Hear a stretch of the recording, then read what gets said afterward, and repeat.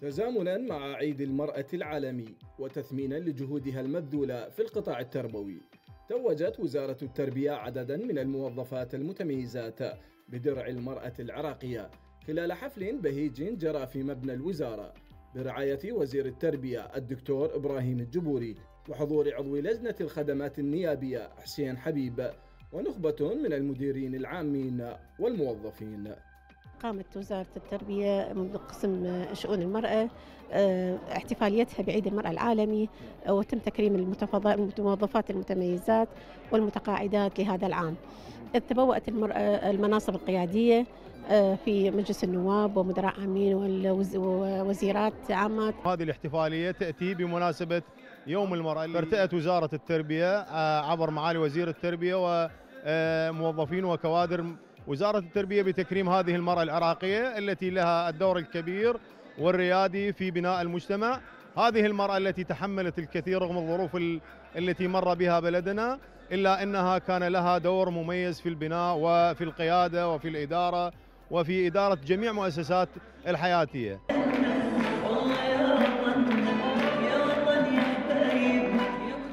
عرض المكتب الإعلامي في وزارة التربية فقرات الحفل الذي تضمن كلمة ألقاها رئيس الجهاز التنفيذي لمحو الأمية.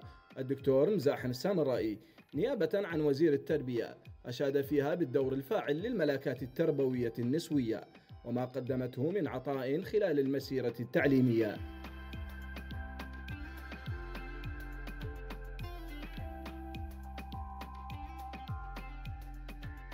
إضافة إلى تكريم 235 موظفة من ضمنهم المحالات إلى التقاعد.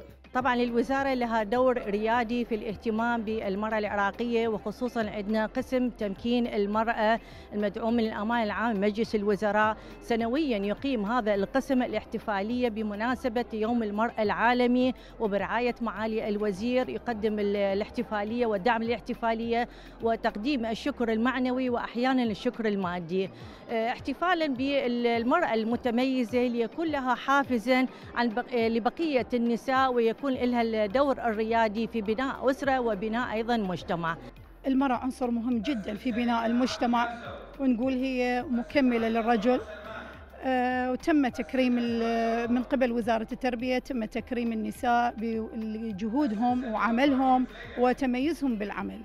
فكان هذا دعم من قبل المعالي للنساء في وزارة التربية وجميع المديريات تم التكريم أيضا يعني مو فقط في وزارة نفسها في مديريات كليتها صار تكريم للمرأة. آه، لاجتهادها بعملها لاجتهاد تميزها بالعمل مالتها. أيضا هي المرأة يعني ماخذة هواية مناصب. آه، لها دعم كبير من قبل الحكومة ومن قبل المعالي.